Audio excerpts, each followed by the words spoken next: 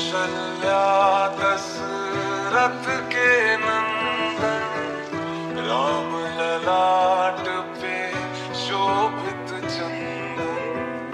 रघुपति की जय बोले लक्ष्मण, राम सिया का हो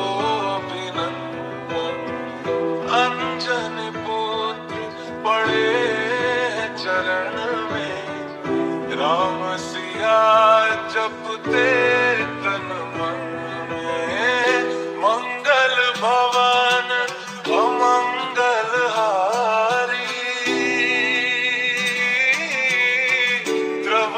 सुरस अजर बिहारी।